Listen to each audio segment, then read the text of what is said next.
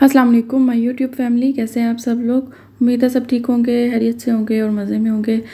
माशाल्लाह से ईद की तैयारियाँ सब लोगों की चल रही होंगी, या कुछ की हो गई होंगी। और रमज़ान के बस अब थोड़े से ही रोज़े रह गए हैं, दो या तीन। तो अल्लाह पाक जो है इस बरकतों वाले महीने में जो जो सबने दुआएँ मांगी हैं, सबकी दुआएँ कबूल करे, आसानियाँ करे सबके लिए।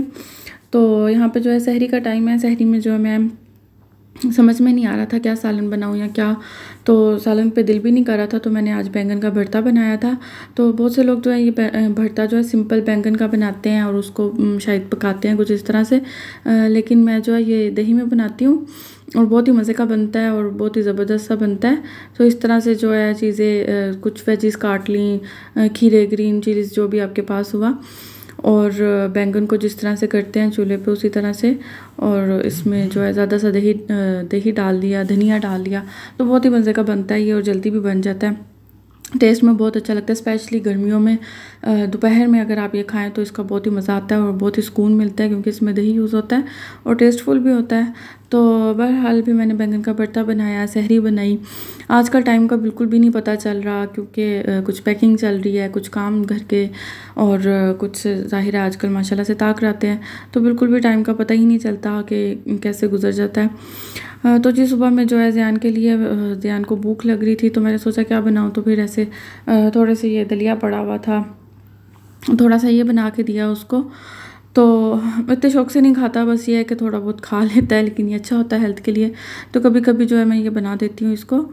तो इस तरह से इसको मैं पका लेती हूँ, थोड़ा सा दूध डाल लेती हूँ, बीच में कोई भी चीज़, कोई खजूर डाल ली, कोई फ्रूट हुआ, वो डाल लिया। तो जो उसके बाद फिर हमने ग्रोसरी करनी थी। ग्रोसरी करने के लिए चले गए, क्योंकि एक दिन का जो टाइम होता है, इतने सारे उसमें काम होते हैं। तो काम भी ख़त्म करने होते हैं। तो बहरहाल फिर ग्रोसरी की घर का सामान सारा लिया। ग्रोसरी भी इस दफ़ा इतनी लेट हो गई आलमोस्ट महीने का एंड आ गया।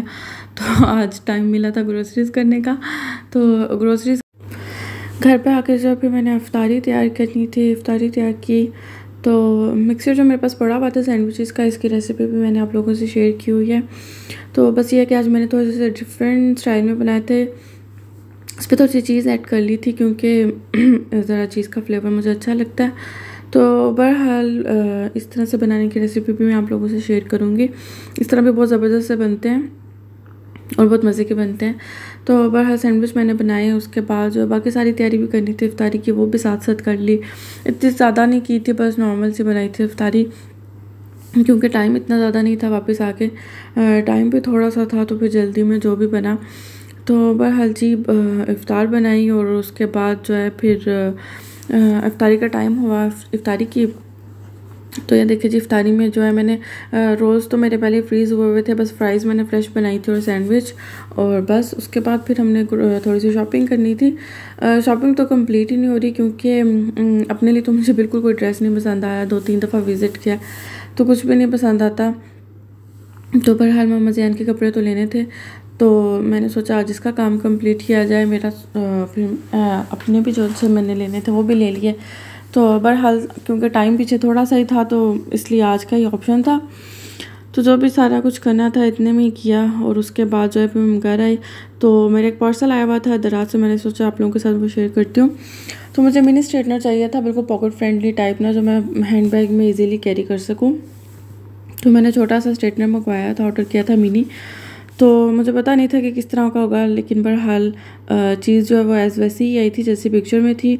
और उसके बाद मैंने इसको यूज़ भी किया, इसका रिज़ल्ट भी बिल्कुल ज़बरदस्त, जिस तरह बड़े स्ट्रेटनर का होता है, वैसे ही था।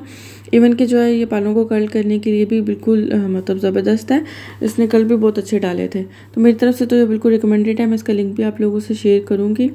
क्योंकि इसकी प्राइस बहुत ही रिजनेबल है तो आप लोग इसको इजी जो है ट्रैवल वगैरह में कैरी करने के लिए ऑर्डर कर सकते हैं। तो बहरहाल जी, ये थी कुछ दिनों की जो है मेरा ब्लॉग था। तो उम्मीद आपको अच्छा लगा होगा, दुआओं में याद रखें और अपना बहुत ख्याल रखें। अल्लाह हाफिज़।